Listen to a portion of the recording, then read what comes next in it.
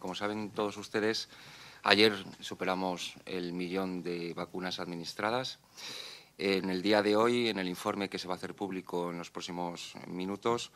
el dato de vacunas administradas asciende a 1.103.301, lo que supone un 82% del total de dosis distribuidas a las comunidades autónomas, es decir, un incremento de,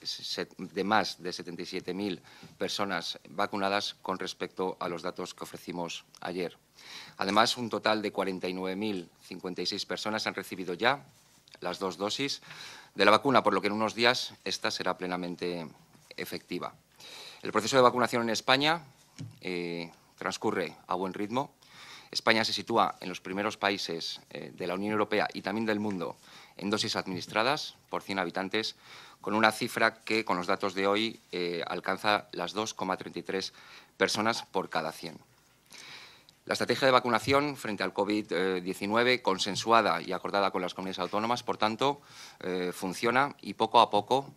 pensamos que vamos a poder cumplir con los objetivos, con la cobertura vacunal de los grupos priorizados, grupos priorizados en un plan que es un plan de todos y para todos. De hecho, las comunidades autónomas, algunas de ellas,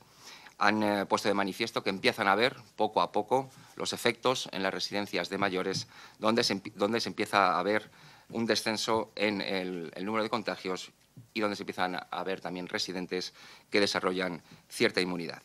Como saben, durante el primer trimestre de 2021 está previsto que se distribuyan en nuestro país 4,5 millones de dosis de la compañía Pfizer-BioNTech y más de, 500.000 dosis de la compañía Moderna. En este caso, en el caso de, Moderna, estas 500.000 dosis se prevé que lleguen a nuestro país antes de la tercera semana del mes de febrero.